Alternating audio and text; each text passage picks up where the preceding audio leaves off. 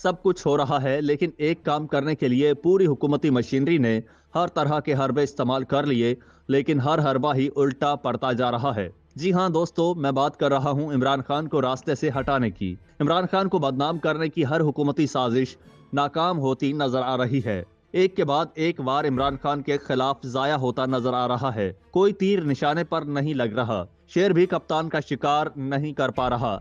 बस ऐसी ही एक कोशिश एक दफ़ा फिर की जा रही है।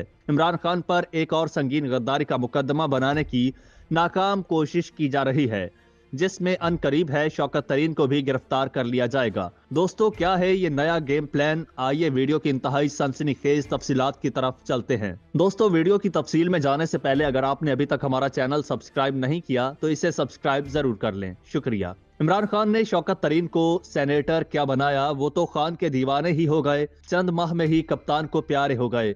और इस प्यार में रियासत पाकिस्तान के खिलाफ इस हद तक आगे निकल जाएँगे, किसी ने सोचा भी ना था। जी हाँ दोस्तों, गुजश्ता रोज शौकत तरीन की आईएमएफ प्रोग्राम से मुतालिक लीक होने वाली ऑडियो ने भांडा फोड़ दिया। अब सवाल ये पैदा होता है कि जिस तरह शौकत तरीन साहब ने इमरान खान के खिलाफ ऑडियो में बयान दिए हैं वो इंतहाई खतरनाक हैं, क्योंकि ये डील कोई मियाँ शहबाज शरीफ या जरदारी साहब के लिए नहीं थी, बल्कि मुल्क पाकिस्तान के गरीब आवाम को रिलीफ देने के लिए एक मुकम्मल पैकेज था, जिसको खराब करने के लिए शौकत तरीन ने ऑडियो में एतराफ भी किया है।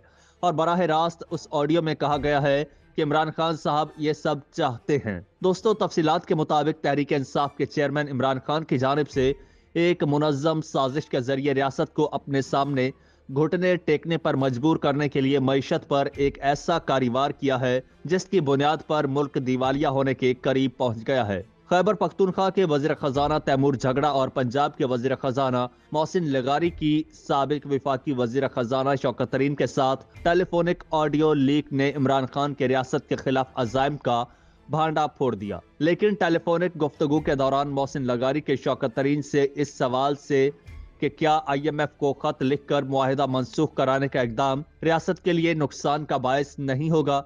मुल्क में उम्मीद की एक शम्मा रोशन कर दी है, लेकिन तहरीक इंसाफ की इस क्यादत के लिए एक सवाल छोड़ा है, जो मुल्क की सलामती को इमरान खान की मनफी नजरियात से बालातर समझते हैं कि उन्हें इमरान खान की अंधी पैरवी करनी चाहिए। क्या इमरान खान को इस हकीकत का इल्म नहीं कि उनकी ख्वाहिश के मुताबिक आईएमएफ से मुआहिदा खत्म हो जाने की सूरत में इस मुल्क के दिवालिया होने के बाद क्या हशर होगा? लेकिन दोस्तों, इस कहानी के दूसरे पहलू को अगर देखें तो तहरीक इंसाफ के रहनुमा और सबक वज़ीर खजाना शौकत तरीन ने पंजाब और खैबर पख्तूनख्वा के वजरा खजाना से टेलीफोन पर आईएमएफ की डील से मुतालिक लीक होने वाली अपनी गुफ्तगु पर रद्द अमल देते हुए कहा है कि घर में बैठकर की गई गुफ्तु को टेप करना और फिर उसके ज़रिए हमें दीवार से लगाने की कोशिश करना मुनासिब नहीं है। दोस्तों, पाकिस्तानी जराए अबलाग पर दो फ़ोन कॉल्स की ऑडियो नशर की गई।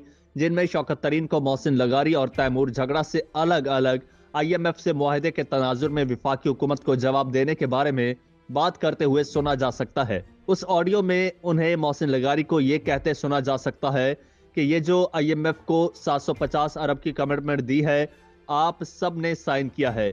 आपने अब कहना है कि हमने जो कमिटमेंट दी थी, वो सैलाब से पहले दी थी। अब कहना है कि सैलाब की वजह से हमें बहुत पैसा खर्च करना पड़ेगा आपने अब ये लिखना है कि अब हम ये कमिटमेंट पूरी नहीं कर पाएँगे। यही लिखना है, आपने और कुछ नहीं करना। शौकत तरीन ने मजीद कहा कि हम सब चाहते हैं कि इन पर दबाव पड़े। ये हमें अंदर करा रहे हैं और हम पर दहशत गर्दी के इल्ज़ाम लगा रहे हैं।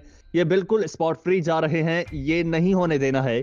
शौकत तरीन से दौरान गुफ्तु वज़ीर ख़जाना पंजाब मोहसिन लगारी ने जब ये सवाल किया कि क्या इससे रियासत को नुकसान नहीं होगा जिस पर शौकत तरीन ने कहा कि ये जिस तरह चेयरमैन और दीगर को ट्रीट कर रहे हैं, इससे रियासत को नुकसान नहीं हो रहा। उन्होंने कहा, देखो, ये तो ज़रूर होगा कि आईएमएफ के कहेगा, पैसे कहाँ से पूरे करेंगे? ये मिनी बजट लेकर आ जाएँगे।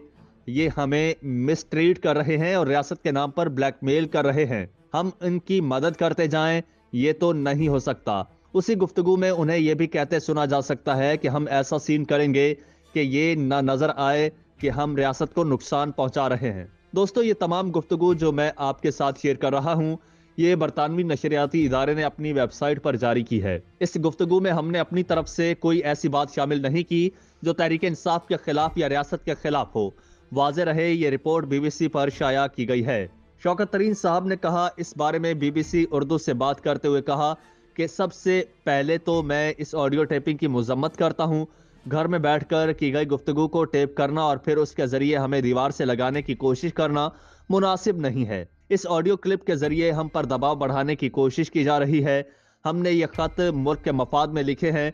उन्होंने कहा कि हमने उन्हें पैगाम पहुंचाना था कि जो मुआदा वो करने जा रहे हैं, उसके लिए इस सैलाबी सूरत हाल में पैसे कहाँ से आएँगे? वो हमने खैबर पख्तूनखा के ज़रिए पहुँचा दिया। पंजाब के वज़ीर खजाना से होने वाली गुफ्तु से मुतालिक बात करते हुए सबक वज़ीर खजाना का कहना था कि मैंने इसमें कुछ गलत नहीं कहा और इसे सियाको सबाक से हटकर लिया गया। शौकत तरीन का कहना था कि आईएमएफ के साथ डील में हुकूमत और आईएमएफ को पाकिस्तानी अवाम के मफाद में यह पैगाम देना चाहते थे कि सैलाबी सूरत को मद्देनजर रखते हुए हमें आईएमएफ के साथ नई डील कर लेनी चाहिए। क्योंकि जो डील आईएमएफ के साथ हम लोगों ने तय की थी, वो सैलाब से पहले की थी। क्योंकि अब इंफ्रास्ट्रक्चर मुकम्मल तौर पर तबाह हो चुका है तो हम कैसे आईएमएफ की शरात को पूरा करेंगे? उन्होंने कहा, मेरी ऑडियो असल वाक़े से हटकर पेश किया जा रहा है। अगर समझदार हैं तो उन्हें हमारी बात को समझना चाहिए, क्योंकि यही रियासत पाकिस्तान के मफाद में है। कि वो सैलाबी सूरत को मद्देनजर रखते हुए आई एम एफ़ के साथ होने वाली डील के तनाजुर में फ्लड रिलीफ भी हासिल करें, जिससे हुकूमत और आवाम दोनों का फ़ायदा होगा। लेकिन इन लोगों ने तो सोच लिया कि बस इन्होंने इमरान खान के हर काम पर तनकीद करनी है। शौकत तरीन का कहना था कि चेयरमैन तहरीक इंसाफ इमरान खान की हर काम में ये कोशिश होती थी कि वो पाकिस्तानी आवाम को हर तरह से रिलीफ लेकर दें। ठीक है, आईएमएफ के साथ डील होनी चाहिए, लेकिन जो तबाही बर्बादी इस वक्त पाकिस्तान में हो चुकी है, कैसे हम आईएमएफ की शराय पर पूरा उतरेंगे? ये बात सोचने वाली है। इस तरह दोस्तों, ये ऑडियो लीक करके बज़ाहिर करने वालों ने इमरान खान के खिलाफ ही प्रोपेगंडा किया था। लेकिन अगर शौकत तरीन के मौकफ को भी समझा जाए तो उन्होंने भी कुछ गलत नहीं सोचा था। उनका मतलब था कि आईएमएफ से लिए जाने वाले उस कर्ज पर फ्लड रिलीफ भी हासिल किया जाए और शराइ पर नजरसानी करवाई जाए ताकि पाकिस्तान का भला हो सके। अल्लाह पाकिस्तान की हिफाजत फरमाए। शौकत तरीन का कहना था कि चेयरमैन तहरीक इंसाफ इमरान खान की हर काम में ये कोशिश होती थी कि वो पाकिस्तानी आवाम को हर तरह से रिलीफ लेकर दें। ठीक है, आईएमएफ के साथ डील होनी चाहिए, लेकिन जो तबाही बर्बादी इस वक्त पाकिस्तान में हो चुकी है, कैसे हम आईएमएफ की शराय पर पूरा उतरेंगे? ये बात सोचने वाली है। इस तरह दोस्तों, ये ऑडियो लीक करके बज़ाहिर करने वालों ने इमरान खान के खिलाफ ही प्रोपेगंडा किया था, लेकिन अगर शौकत तरीन के मौकफ को भी समझा जाए तो उन्होंने भी कुछ गलत नहीं सोचा था। उनका मतलब था कि आईएमएफ से लिए जाने वाले उस कर्ज पर फ्लड रिलीफ भी हासिल किया जाए और शराइ पर नजरसानी करवाई जाए ताकि पाकिस्तान का भला हो सके। अल्लाह पाकिस्तान की हिफाजत फरमाए।